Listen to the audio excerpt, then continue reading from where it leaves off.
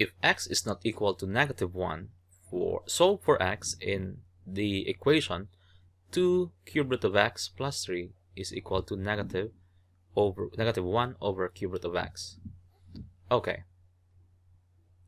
Okay, so we have this. Let me rewrite it.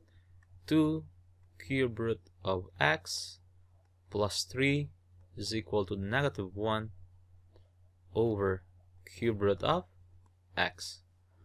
So what's what do you think is the best thing to do? Well, we could we could by default um multiply both sides by cube root of x just to get rid of that denominator. So this will become 2 cube root of x squared, right? Plus 3 cube root of x equal to negative 1. So I think we can see from here that this looks like a quadratic form.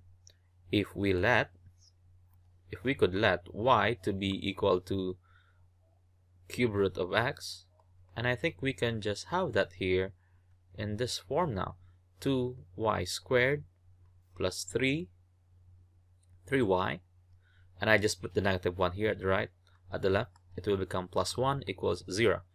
So we need, we just need to factor this, applying factoring, by guessing 2, 2y plus 1 and then y perhaps plus 1 also right?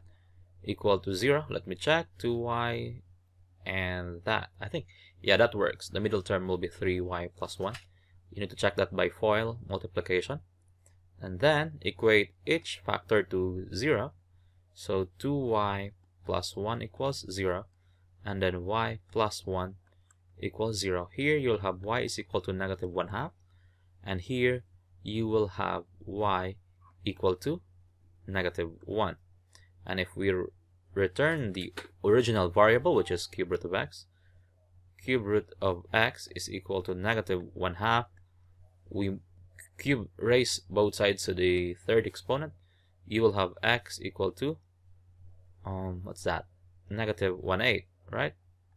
And how about here? Well, here, if we have cube root of x equal to negative 1, raising both sides to the power of 3 will give us x equal to still negative 1. However, we don't use this solution. We don't use this solution because according to the problem, x is not equal to negative 1. So surely we can say that now x is just equal to okay so this is this will be our answer right x is equal to negative 1 over 8.